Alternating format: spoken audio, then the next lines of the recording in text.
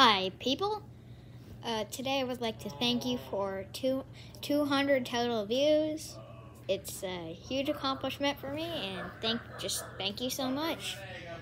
Um, I'll see you next video. Goodbye.